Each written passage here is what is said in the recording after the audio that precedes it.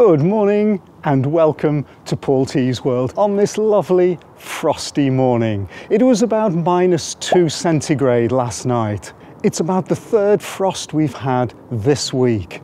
A little bit early for this part of the world, which is usually about the 5th to the 15th of December.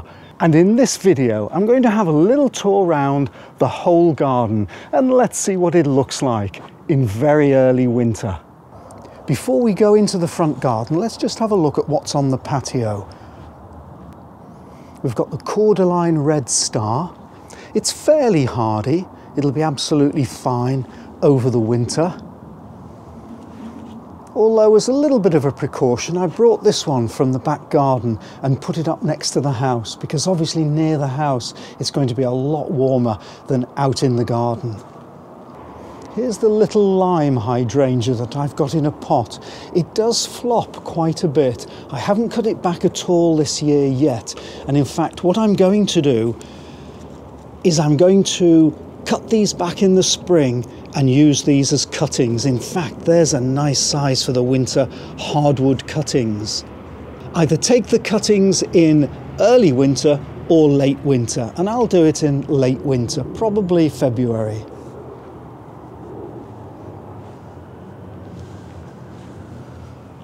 The lavender are looking good. Just by the pathway near the front door, we've got this azalea bed. Azaleas look gorgeous in the frost.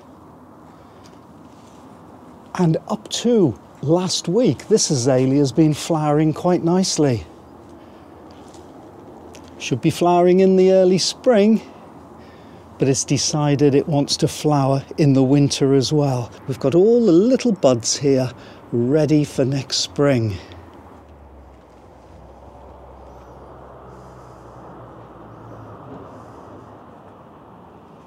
Here are the two fuchsia. Now I cut these fuchsia right back early on last spring. Here we are. See where I've cut it right back and all this is brand new growth.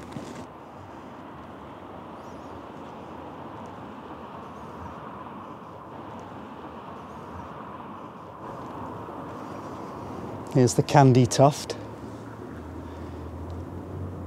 that flowers white so beautifully in the spring, one of the earliest to flower.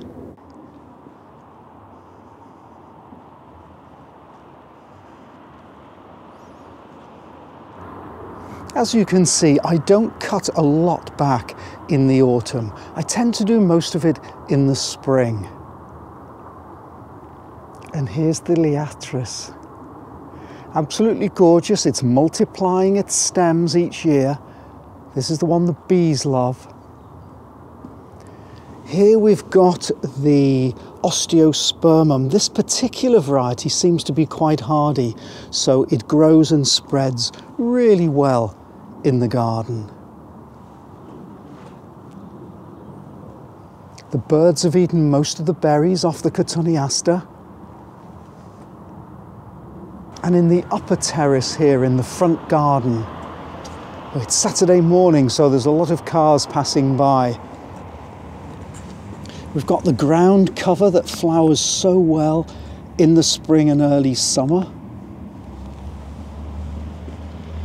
That new cistus, the white cistus, that's a couple of years old. And the sedum. I leave the stems right the way through the winter. And then when the little new buds start down here, oh, in fact, here we are, look at this. There we are. See these new buds there? So we'll just leave the leaves over them and we'll cut these back in the spring as those buds are growing nicely.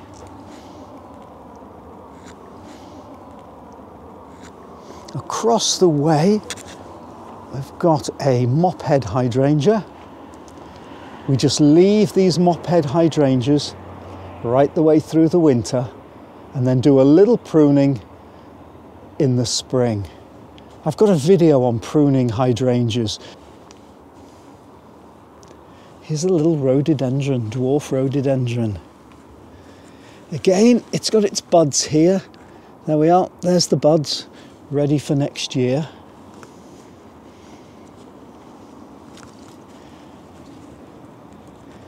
A little Bobo hydrangea, paniculata.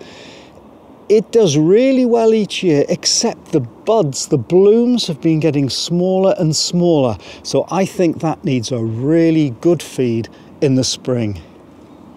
Let's go straight over to the azalea bed that's in the front garden and see how it's doing. There's a large azalea at the front here, which is always red in the winter. So just as pretty in the winter as in the spring. And this is the white one here that's like a waterfall coming down here when it's in flower. It's one of the later ones to flower for some reason.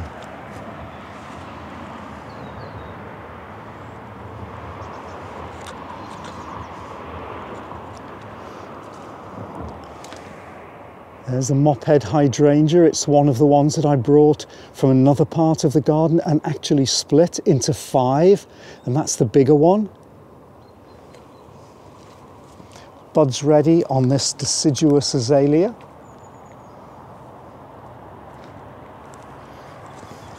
This is one of the cuttings I did. Growing strongly.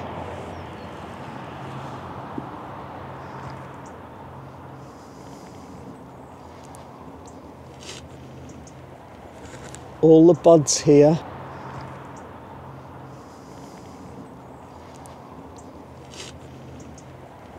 And the sun's just come out now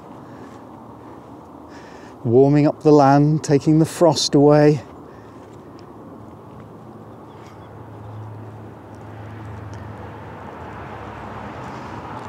Penstemons, or as the experts say, penstemons. What I've done is I've cut them half back for the winter. So if there's any heavy winds, they will be okay. And then in the spring, I'll just simply cut them right back to a few inches off the ground and they'll be flowering by June.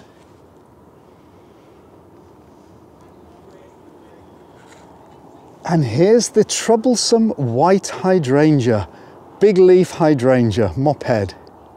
This is the one that I cut right back last spring to see what would happen and to see if it would flower.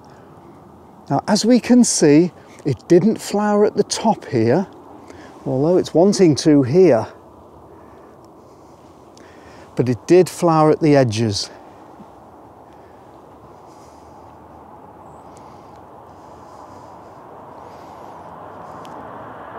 This is a cistus that I moved in the spring from the back garden as it was getting rather unruly there and taking up too much space.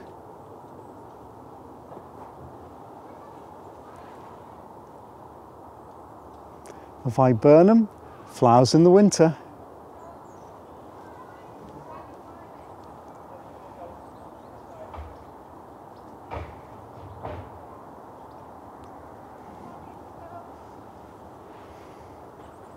Right the way through the winter, these mop heads look nice. Leave them on because they look nice and also they protect the plant from any frosts. It's 20 years old or so, this mop head, and every year it flowers all summer.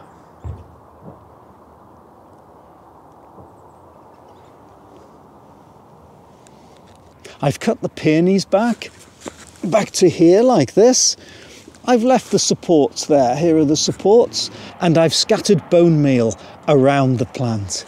So I've got one, two, three, four, five. Five clumps of peony. Some are pink and some are white.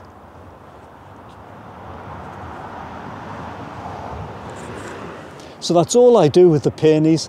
Cut them back in the autumn, put some bone meal around them, and that's it done. The contorted hazel looks interesting at all times of the year. Now from the base, as you can see over there, it sometimes reverts to straight stems. So I simply cut off those stems at the base.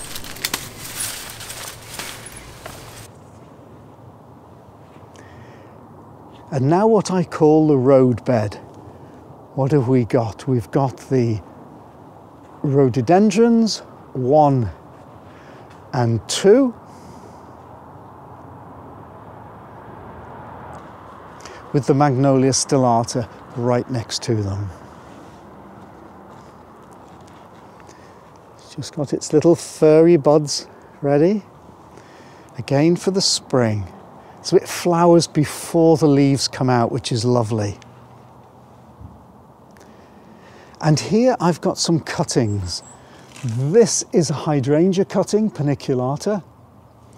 And this is a lace cap. These are both cuttings from two years ago. And another paniculata here, interspersed with brunnera. This is a new brunnera to me.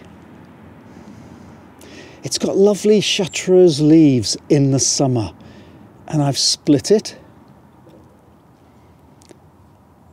It's nice to just split plants in the autumn or the spring.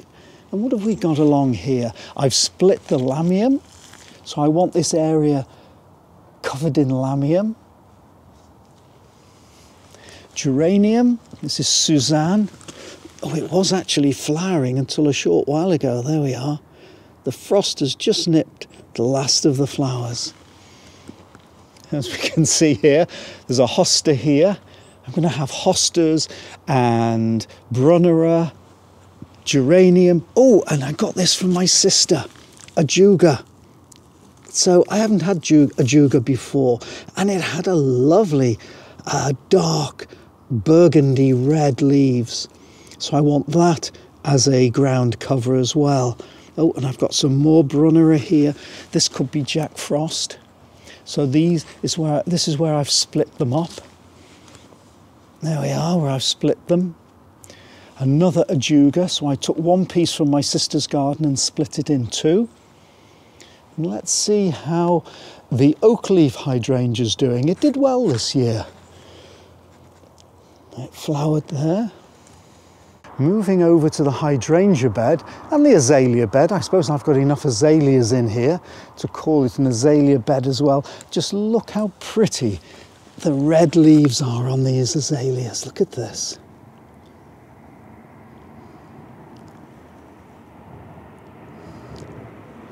Gorgeous.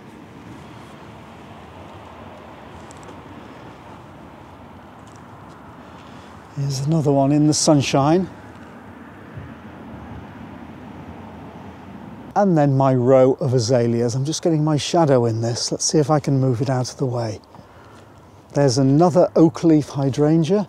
That's the Sikes. Sikes dwarf, is it? Looked gorgeous this summer, this one.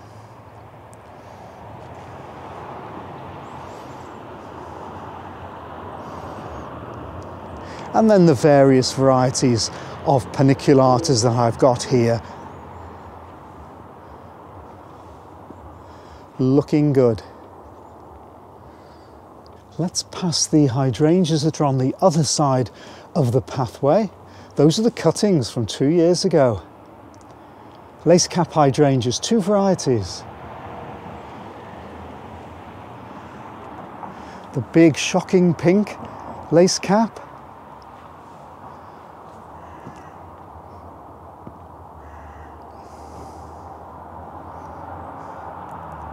and the Weigela. Big Weigela, I want to grow this up nice and high. And now let's have a look around the back garden in the next video. See you soon for that one. Bye.